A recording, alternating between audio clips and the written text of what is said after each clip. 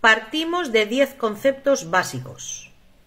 Violencia laboral, violencia económica, violencia vicaria. Bueno, pues todo esto son cosas eh, que se han dicho en la rueda de prensa para presentar un poco todas las actividades y los talleres que van a tener lugar para, pues, pues para celebrar el 25N, en este caso en la sociedad melillense. A mí todo esto me parece perfecto, pero violencia vicaria, violencia familiar, violencia económica, violencia esto, violencia lo otro. Van a fomentar ahí todas las violencias.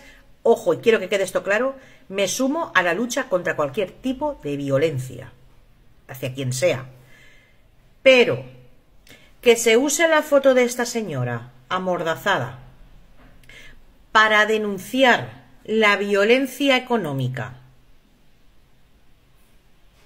a una señora que tiene una sentencia en primera instancia por no pagar la pensión alimenticia a su hijo, me parece absolutamente nauseabundo.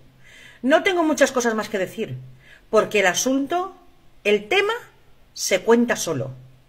Aquí no hay mucho que argumentar, no hay mucho que añadir.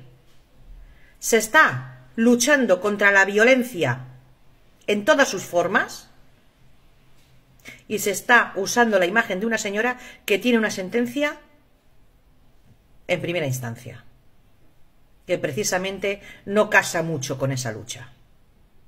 Ahí lo dejo, para que cada uno asuma las consecuencias, para que cada uno entienda como pueda y para que cada uno trague y mastique como le sea posible, porque tiene guasa el asunto, ¿eh?